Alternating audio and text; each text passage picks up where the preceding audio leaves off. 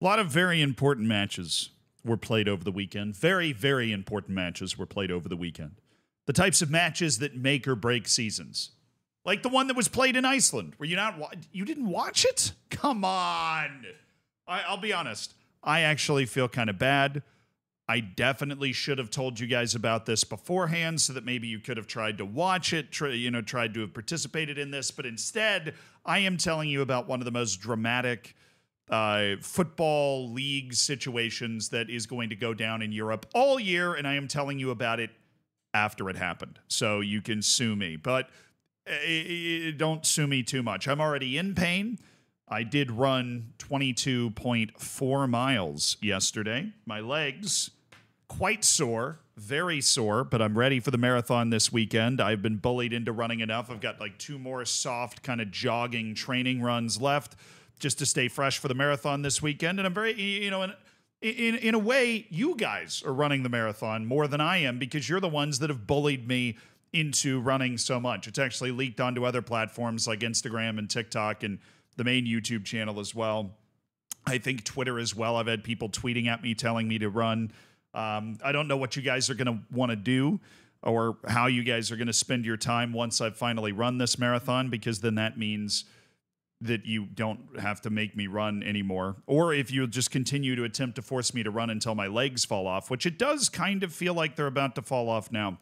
Anyways, the Icelandic League has gotten a lot of better recently. Uh, if, if you hadn't noticed that, I don't blame you. But they have had teams make it into European group stages uh, and fairly recently, they actually had one of their teams win a match in a European group stage for the first time ever. That team was Vikingur Reykjavik. But amazingly, unlike a lot of leagues like this, where there is one team that is kind of blazing the trail ahead by itself, there are multiple teams involved in this. Vikingur Reykjavik is not running away with the league title by 20 points. They were, in fact, going into this weekend tied on points with a club called Breidablik. Uh. Nailed it. First try. Thank you, editor, for cutting that out. Now, a lot of the stuff on this comes from Nordic Footy, a friend of mine who appeared in the second episode of Hidden Grounds that we did in the Faroe Islands, because we both went there uh, to watch uh, the Faroese team play in the European group stage. And he found out some fabulously interesting things. Not only is he talking about Vikingur getting the first ever European group stage win for Iceland, but the fact that Breidablik, the other club that's involved in this incredibly dramatic final match, that they were the first ever Icelandic team to qualify for European group stage last year. Also, the past two seasons in Iceland were won by these two teams. Vikingur Reykjavik won the league last year. Two years ago, Breidablik managed to win the league. And then the ultimate awesome twist that was in another one of their tweets. Vikingur Reykjavik has to play its European matches at Breidablik's ground. They are both in Reykjavik. A lot of the clubs in the Icelandic League are in Reykjavik.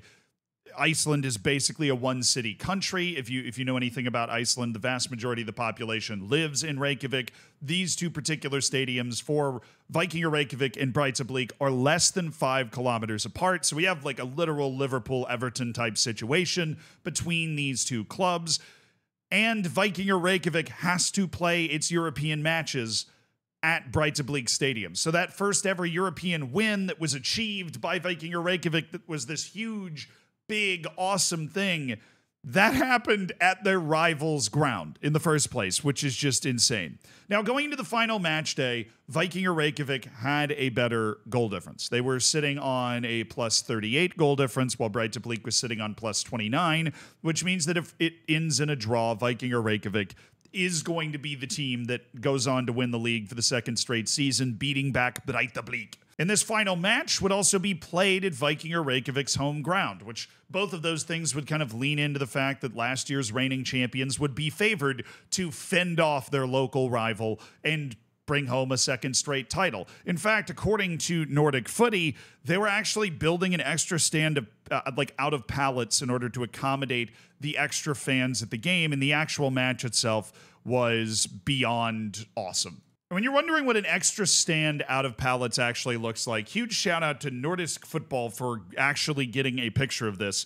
They laid pallets out like the sorts of pallets that you deliver things on and just made them into a stand to support more fans being able to attend this match. And you got to be a hardy soul to watch a match in this particular situation because it's cold, bro. It is minus one. I'm assuming that's Celsius in Reykjavik, but we're talking like high 20s Fahrenheit is what we're checking in at in Reykjavik for this match. There's the reason that the season is coming to an end now. There's a reason that they play a summer season in Iceland.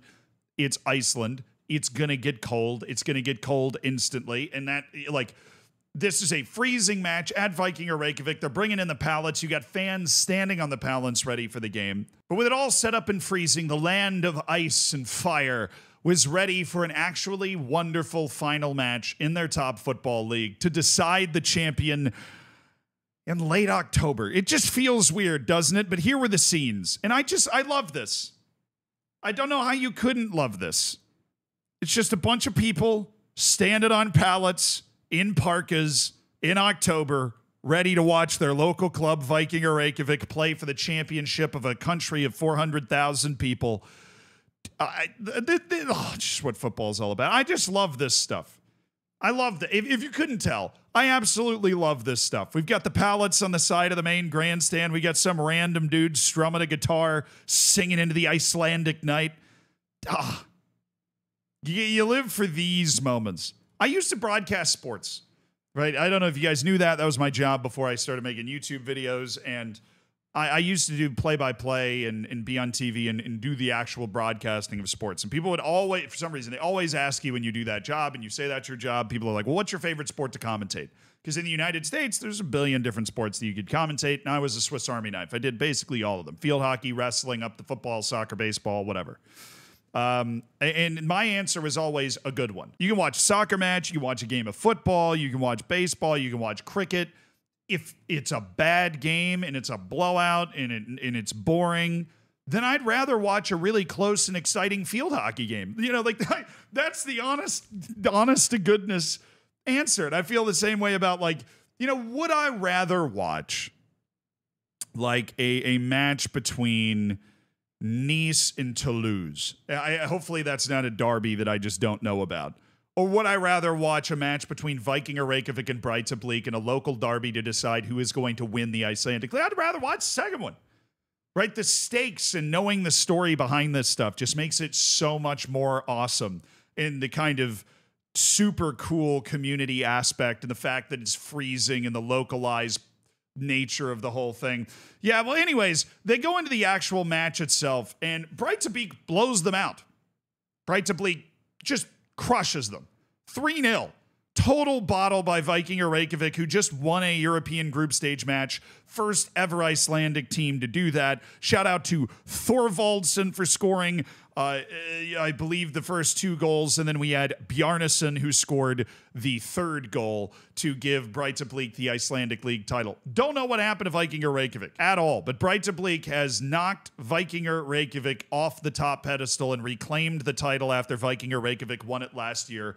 This was the gold medal round after these two teams had split the two previous titles and had split the record breaking performances in Europe, one qualifying for a group stage, one actually winning a match in a group stage. Maybe you could make the argument Vikingur Reykjavik was distracted by the fact that they're, you know, competing at such a high level in Europe this year, but Breidablik made them look like fools. And their traveling support, which granted, the easiest away day of all time, they were having a good time. There you go. These are the Breidablik fans.